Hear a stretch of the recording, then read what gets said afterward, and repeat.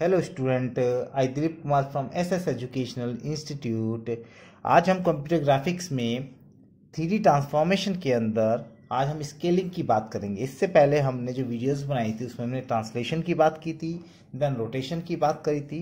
आज हम बात करेंगे थर्ड पॉइंट है जो हमारा ट्रांसफॉर्मेशन टेक्निक का that is called scaling so scaling क्या होता है? देखिए, जैसे स्केलिंग भी टू की तरह ही हमारे थ्री में स्केलिंग होता है but the key difference is that 3D plane also include the z axis along with the x and y axis. उसमें केवल दो ही एक्सिस थे, x and y.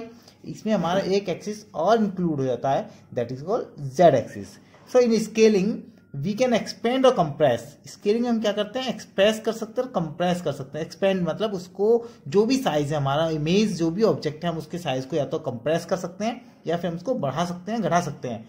Size of any object we can apply scaling on the object by multiplying the coordinate with the scaling factor हम इसमें क्या करते हैं? हम इसे मल्टीप्लाइंग करते हैं बिकॉज़ इसके अंदर, जैसे कि अब तक हमने जो किया, देखिए जैसे कि बात करें टू डी की, जहाँ मैंने फिगर में देखिए टू डी बनाया हुआ है।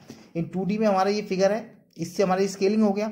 स्केलिंग में हमने X dash equal to X into S X लिया। दैट मीन्स क्या है कि जो एस एक्स जो हमारे स्केलिंग फैक्टर्स है X is the original value of X coordinate X axis की X is the new value of X axis ठीक है ना? जब स्केलिंग होने का जो न्यू वैल्यू आएगी that is called X dash और जो वाई की वैल्यू नहीं आएगी that is a Y dash one जो लिया हमने होमोजीनियस के लिए लिया है, ठीक है? बट एक स्केलिंग के अंदर एक कॉन्सेप्ट है, जब यहाँ पे आगे जब हम इसको जैसे जैसे स्केलिंग बताएँगे तो उस कॉन्सेप्ट को बताएँगे, इसमें क्या सिमिलरिटीज है इसके अंदर जो ये होमोजीनियस और नॉन होमोजीनियस का जो फंडा है इसके अंदर, वो क्या है? थोड़ा सा आगे आके डिस्कस करेंगे इसमें। सबसे पहले मान लीजिए, जैसे टू के अंदर हमारा दो एक्सिस थी हमारी एक्स एक्सिस और वाई एक्सिस पे जो हमारी हमने स्केलिंग फैक्टर्स निकाले थे सेम यहाँ पर हम क्या करेंगे? एक्स वाई एंड जेड के अकॉर्डिंग देखेंगे। देखिए, यहाँ पर हमारी एक इमेज है, ये इमेज हमारी थ्री इमेज है। इसको हमने क्या किया? इंक्रीज किया है, ठीक है ना? इंक्रीज करने के बाद हमारा स्केलिंग करी है हमने, इसकी इंक्रीज करने के बाद स्केलिंग फैक्टर्स के जो होंगे, वो मान लीजिए S equal to S X S Y and S Z होंगे। ठीक है ना? दैट मीन्स एक्स के स्केलिंग फैक्टर वाई का एंड जेड का। ठीक है ना? तीनों के अंदर हमारी जो इंक्रीजिंग जो हुआ है डायमेंशंस का, हमने वो सारे फैक्टर्स ले लिए हैं। ठीक है? और टू की तरह ही, जैसे इसमें न्यू कोऑर्डिनेट जो निकल के आए थे हमारे सेम इसके अंदर भी देखिए थ्री के अंदर भी X dash equal to X is a original और एस एच जो है, हमारा जो है, ये हमारा स्केलिंग फैक्टर है। स्केल होके जो ओरिजिनल का स्केलिंग फैक्टर के साथ मल्टीप्लाई हो गया है। ठीक है? सेम वाई डैश, ये न्यू कोऑर्डिनेट है। इसके साथ इस वाई के स्केलिंग फैक्टर की मल्टीप्लाई करती है जेड डैश के साथ। जेड डैश में जेड के साथ स्केलिंग फैक्टर की मल्टीप्लाई कर वन और वन जो हमने लिया है, ये होमोजीनियस के लिए लिया है। ठीक है ना? So here we can use represent the scaling factor by किससे लिया हमने?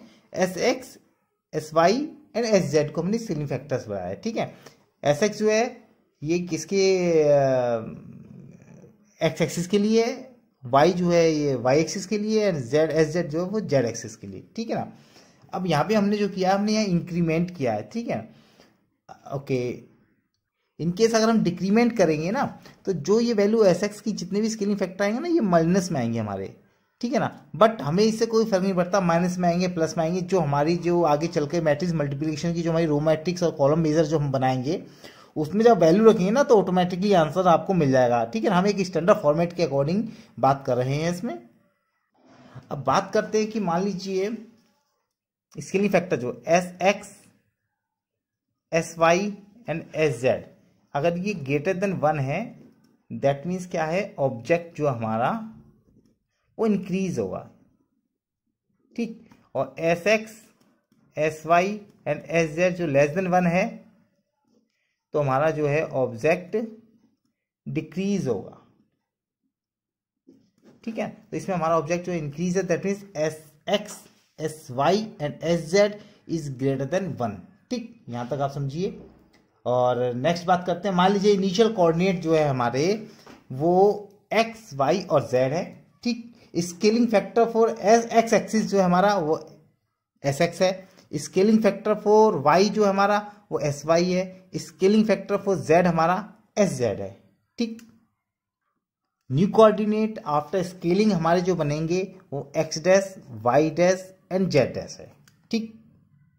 So we can represent the three D scaling in the form of equation that is X dash equal to X dot S X Y dash equal to Y dot Y dot S Y and Z dash equal to Z dot S Z okay one equal to one ठीक।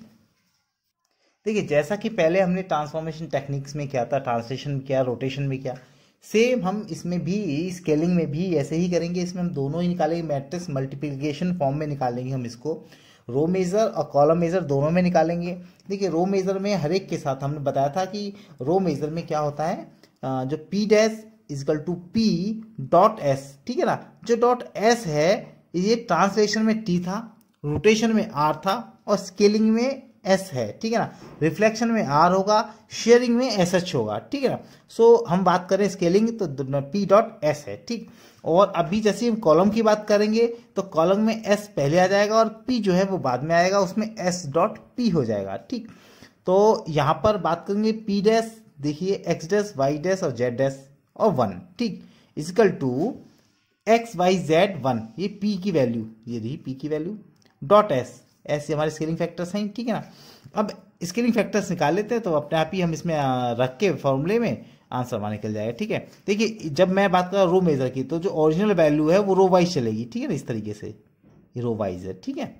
सो यहाँ पर X dash Y dash Z dash और one आ गया, ठीक है? अब X Z में एक्स की वैल्यू देखिए एक्स डैश में एक्स की वैल्यू कितनी है? एस एक्स ये लिख दिया हमने। एक्स डैश में वाई की वैल्यू है ही नहीं ज़ीरो जेड भी नहीं ज़ीरो वन भी नहीं ज़ीरो वाई डैश में एक्स नहीं है ज़ीरो है। वाई डैश में वाई यस एस वाई है। ठीक है दैट इज़ कोफिशिएंट फैक्टर ठीक है ना? और जेड भी नहीं है वन भी नहीं है। जेड डैश में एक्स नहीं है वाई नहीं है जेड है। एस जेड है एस जेड लिख दिया। वन में ज़ीरो सेम वन में वन में क्या नहीं है हमारा? वन में ना एक्स है, ना वाई है, ना जेड है। वन में वन है तो वन लिख दिया, ठीक है?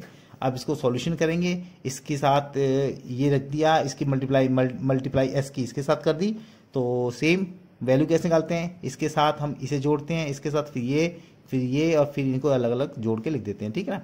देखिए एक्स के साथ मल्टीप्लाई एस एक्स है वाई जेड वन सबकी ज़ीरो ज़ीरो सबको जोड़ेंगे तो ये आ जाएगा।